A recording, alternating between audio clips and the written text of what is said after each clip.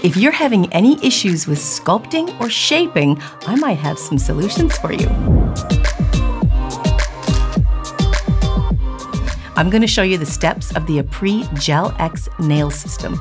Let's get started.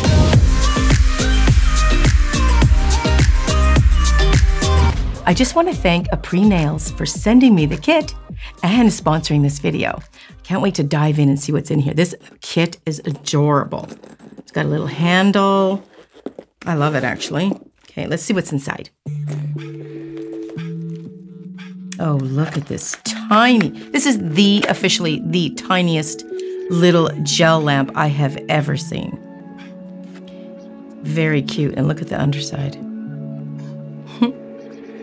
okay, so there's the top coat, the extend gel, which is what we're going to stick the tip with, the primer and the dehydrator, and a good file. Okay. And here is the coffin long. That is, that's great. That's what's gonna help our shaping big time. And we've got this little cord for the little lamp. Okay. Okay, so that's handy. That's a USB uh, connector you have to have. And then you just plug it in. Oh, wow. It's so cute. That doesn't take up much room on the desk. Okay, so like most kit boxes, they are numbered and they go from the, which is always thought was weird, the bigger size is number one and it goes up to 10, which is the smallest size. So we're gonna have to fit that. I need my glasses. Okay, so let's set that aside for a sec and we're gonna take the file and I just gotta prep the nail, get it all ready. Oh, there is instructions in there. Let me grab that box again. I always like to, even though I know how to do most of this stuff, every company has their own little steps they'd like you to follow. And you don't want to miss one because if you do, it could make all the difference in, in adhesion or it's just not wearing right for you. So we're going to leave those right there. So it's they've got a nice little file here and one side is a 100 grit and the other side is 180. So I'm going to use the 180 side to prep the natural nail and you just ever so gently want to do that. I would wash your hands first. You can even clean the nail with some alcohol, and then you want to start filing. And you just want to buff up gently all over the natural nail. I have done this beforehand with them all, just prepping the nails, getting them. I had to take my other nails off, so I just prepped them already. Okay, so I'll do that with all of them. So the number one they want us to do is prep the nails. Um, prep method on natural nails. You want to apply the pH bonder to the finger. This is the pH bonder. This is your dehydrator.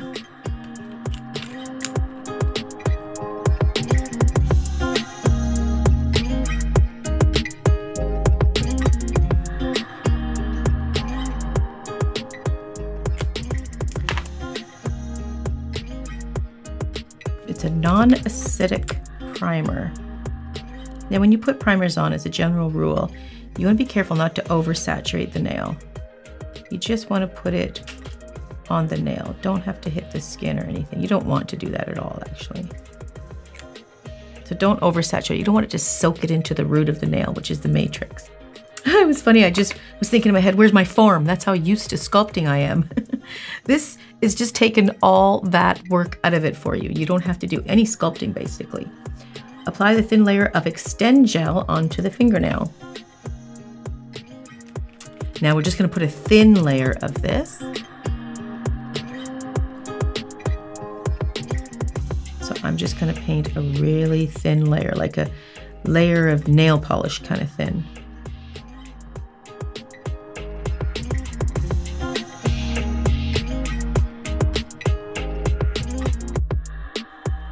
I want to make sure I get all of the nail.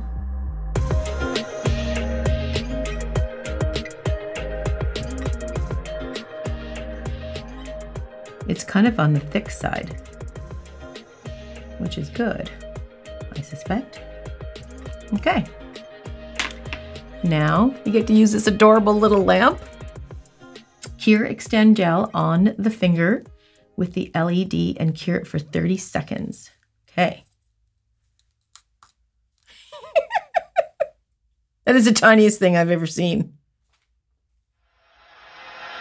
Okay, so that was 30 seconds, but I see something I probably should have done was fit the tip first because I don't know if you can touch this. I think you might be able to because fitting the tip is, you know, important. That, you know, once you fit the tip right, it's taken all the guesswork out of it for you. I'm usually around six, seven, and eight. So I'm going to just size this up here. That looks pretty good. I think that is for me. This one finger is a bit bigger. So if I size this, yeah, I think that's going to work for me. Now I notice the cuticle. I'm so picky with sculpting cuticles. So for me, that's where a tip system like this, a full-on tip, is either going to make or break it for me because I want the cuticle to be nice and flush when it grows out and when it goes on. That's why I'm a little leery, but this looks like it might be you want it to be nice and thin, and it looks not too bad at all. And that's going to fit me pretty good. Now, one thing I do like about the tip, I will say right out of the bat, over the years, like when they first came out, they were just horrible. But over the years, they have perfected tips that it's got a nice arch, like a pinched look. Um, sometimes in the industry, we'll pinch the nails a little bit, like squeeze it together to give it a very natural look. And this is just got a beautiful arch on it. So I, I do like that, I must say. And as a sculptor, I sculpt that into every set that I do, but this is already there, so I don't have to do it, which is pretty cool. Okay, so it does say though, and I do know this, it, you will get better adhesion if it's roughed up a little bit. So number six, it says file the underside contact surface of gel X tip. So that's what we're gonna do. Now, clearly we can't get this under here. I mean, you could try, but that's not gonna. So I've just got a little drill here. I'm just gonna pick it up and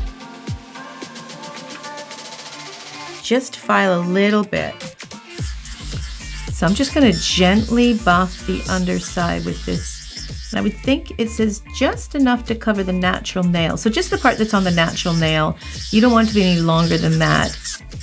And that's because, you know, you don't want to see that roughed up version.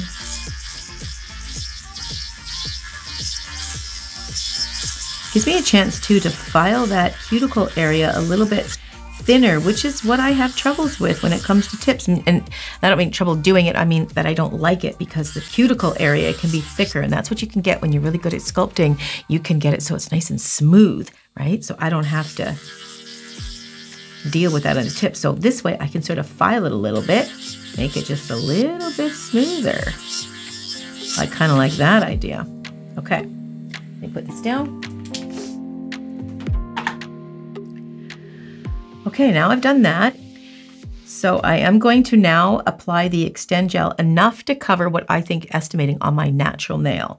So you have to put that amount inside the tip because then we're going to slap it on the index finger. So we need to apply approximately this length. So if I put this on here like this, so I need to apply a product that's almost up to here because that's how long my natural nail bed is.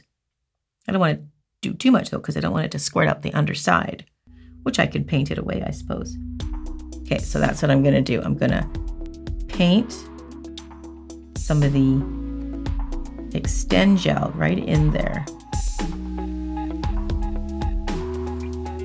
This is a soft gel too, you guys, so you can soak this right off when you're finished with it, which is a bonus. Okay, I'll make sure that there's no bubbles in there.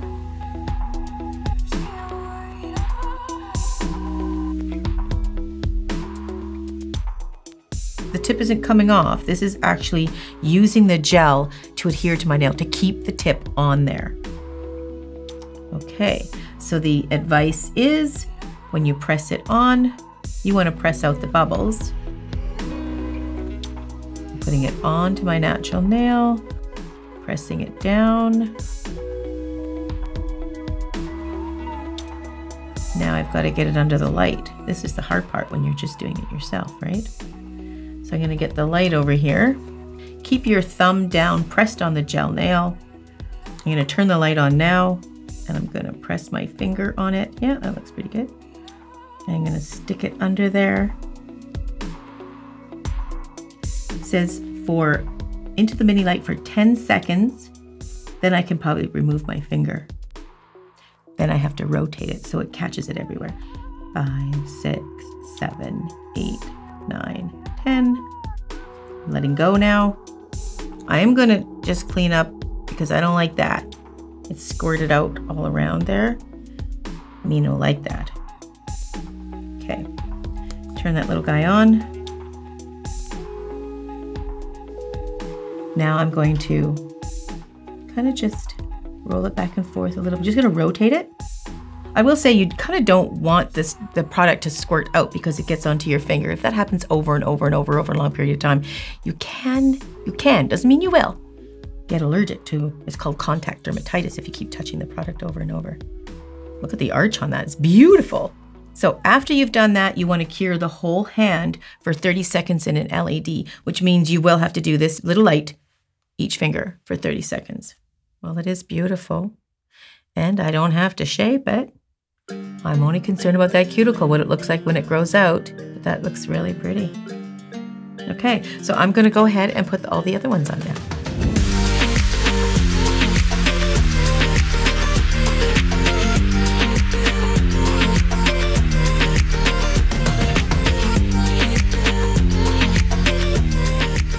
Okay, so I will say, because you have to press with a certain amount of pressure to release the bubbles under there, you don't want bubbles, but it does squirt a little bit of the product out onto the cuticle, which to me, again, remember my pet peeve.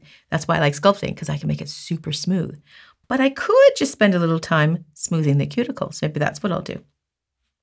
But I have to say that it looks really pretty that way.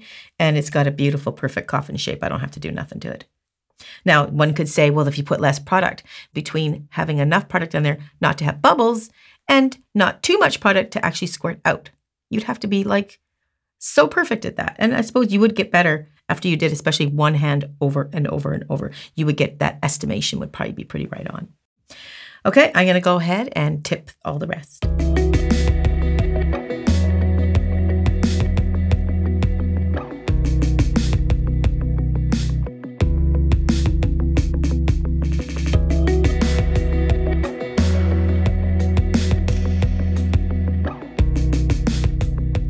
So what I am gonna do is push the product away from the cuticle a little bit so it's not at the cuticle. I'm even holding it up this way a little bit so the product can just fall a little bit and I don't have so much of a concentration of product. These are the things I'm learning as I go. And I'm going to push and start at my cuticle and I'm going to lean in and force the product to not flow out my cuticle, but to flow toward the end of my nail.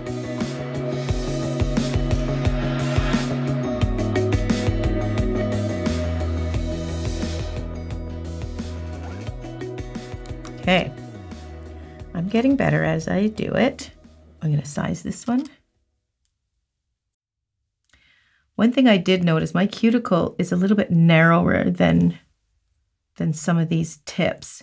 So I think I'm just going to take this and see if I can do this. Might as well see what we can do. I'm just going to narrow it a bit because my cuticle area is a little bit, on this particular finger, it's a bit narrower.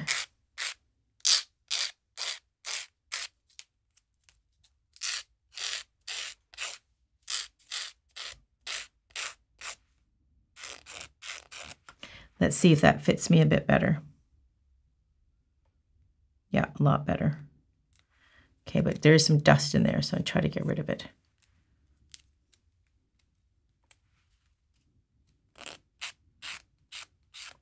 It's just the tip. Okay, now I'm going to file it out again.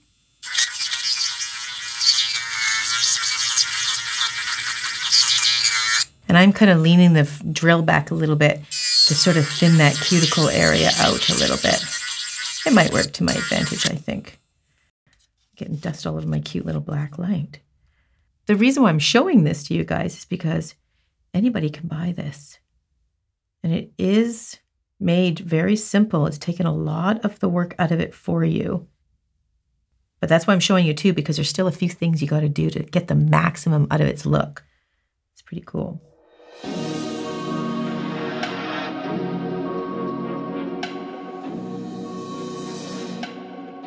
So don't forget, rotate your finger or rotate the lamp, one of the two.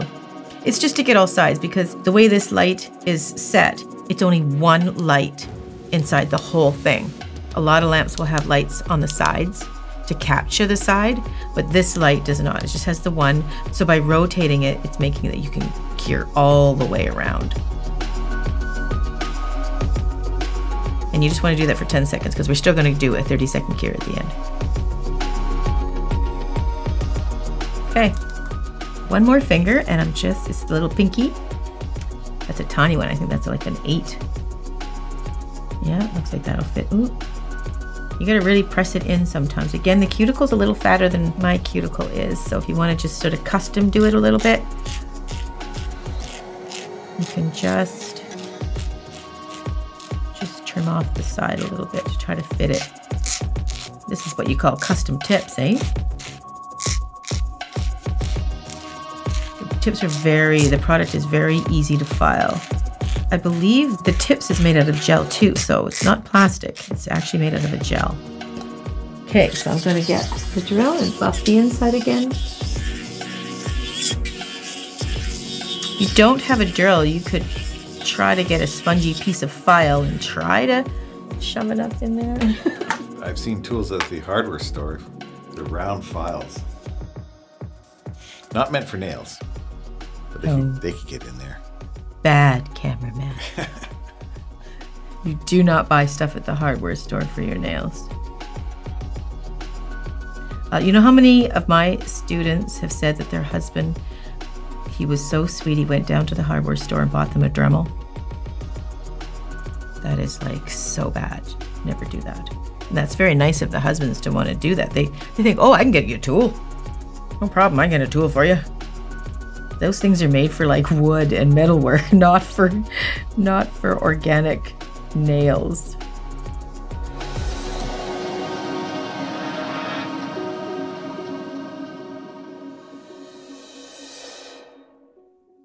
Okay. For me, the big deal is the cuticle area. Now, with a system like this, you really can't compare it to a nail technician that has a lot of experience to try to hit all these marks something is going to have to sacrifice. So we've got some sculpted nails right out of the gate that's already done for you. The shaping is already done, which is two of the most very hardest things to do, which is shaping and sculpting to perfection. That's all taken care of for us. So the cuticle's an issue. Right now, I got to tell you, if I polish these, they're going to look beautiful. Where you're going to see a little bit of a problem is when it grows out a little bit. But you could just take a file, you could do it now even, and just soften the cuticle a little bit. Now I'm going to want to rough these up a little bit too because I'm going to want to put a color on them. So all you have to do is just try to get in there and soften that cuticle. The extra gel that's kind of squished out, you could simply try to file that. Now, what do you do when they grow out? Right? You get these beauties on, you polish them up, they're going to look great. But a couple weeks when they start to go away from the cuticle, if you don't know how to sculpt them and put all that stuff in there and fill it, that's why these come in handy. You can soak them off. Once you soak them off, you clean up your nail and you just reapply exactly how I showed you just now. Pretty cool. Okay, so I am going to buff up the cuticle, make sure that they're nice and flush. So I'm just cleaning up the cuticle. That's my pet peeve. I just like a nice smooth cuticle.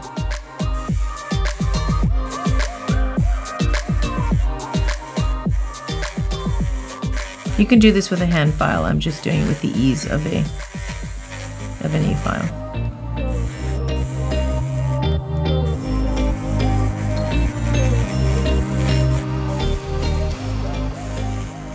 Okay, so now I'm just going to finish buffing the surface of the whole thing and to put some gel polish on them and we'll check out those reveal shots.